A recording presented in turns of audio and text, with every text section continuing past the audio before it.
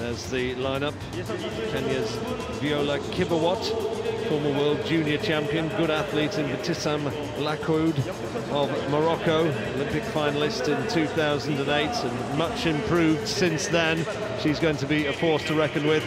And as we look down there, Natalia Rodriguez, the Spaniard, European and world indoor silvers at 1500 metres.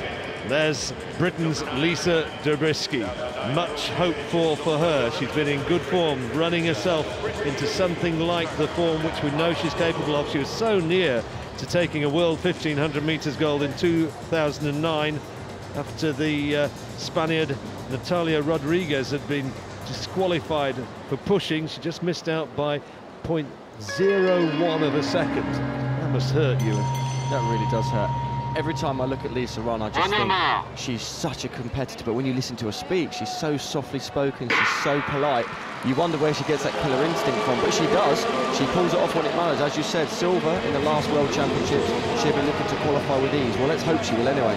Well, she's, as you say, quiet, polite, and uh, a bit of a softie off the track. On the track, she's a steely competitor, and let's see what she can do here. As Lakhouad of Morocco is the early leader, and up just tucked in behind her, we can see the Ethiopian Meskerem Assefa, who has been running on the Grand Prix circuit, eighth in Lausanne, seventh in Monaco. She's run 402.12 this season. There's no real standout performers in the 1500 this year. It's going to be a really competitive race. Lakhouad is a 4.01.09 as her best this season. They're all round about that sort of mark. And Lisa Dobriskey's keeping herself out of trouble, just as Hannah England did in the first of these heats. I thought England's was a really mature performance. She kept herself away from all the bumping and barging, running wide, and you can see that Lisa Dobriskey, as they go around down that back straight once more, she's doing the same sort of thing. Six will qualify, plus six fastest losers. Coming round the outside is Karieva and also Karakaya of Turkey, who's taking a more forward run. And coming bursting through from way back is Viola Kibiwot of Kenya, who moves right up onto the shoulder of the leader as they move around for the last lap. And it's Natalia Rodriguez of Spain who leads the way. And then comes Kibiwot. And now what's Dobriskey going to do?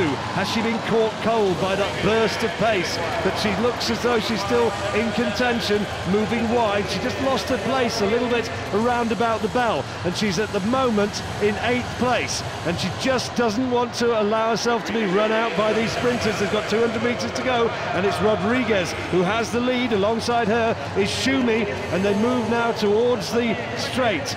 And Karakaya of Turkey moves through on the outside she has the lead and Dobriskey is not finding it she's re-run out of this and this is not what Dobriskey had hoped for and she's right at the back of this and this is turning out to be a disastrous 1500 metres for Lisa Dobriskey. She's going out here and she's eliminated by a considerable distance. Winning time 4 minutes 10.39 and Lisa Dobriskey right at the back of the field. Tugba Karakaya of Turkey comes through and wins that one.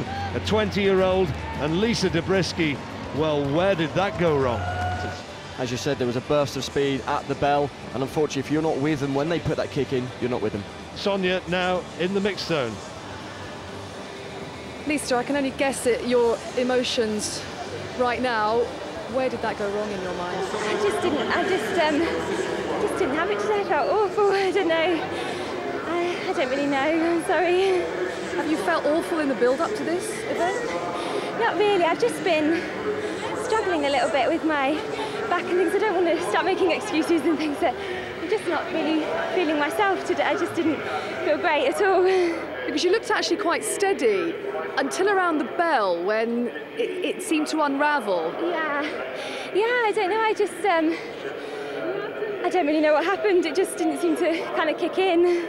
We put this into some kind of context? Because you're a world silver medalist. At your very best, we know exactly what you're capable of. Yeah. Just tell us, if you can, briefly, what traumas you've had with injury. Um, it's just been like more a mechanical thing, and um, it's just troubled me since last year. I fell in, well, I stumbled in a race in Zurich and ended up with like a quite serious injury in my hip, and it's just sort of really been hard to kind of rehabilitate from that and get over it. You must have had so much confidence when you ran so well at Crystal Palace. Yeah, you must yeah. have thought, well, hang on a second, I'm running back into some shape here. Yeah, I really thought it was coming, and then um, it just sort of, it's just been a real struggle, if I'm honest. Yeah, it's been really tough. Oh, well, you can't say any much more than that, but thank, you for your time. Thanks, Sonja. Thank you very much.